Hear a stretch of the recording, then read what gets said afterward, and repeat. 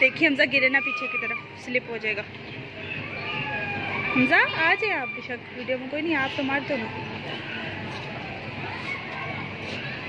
उसको देखना गिरे ना। इधर देखिए।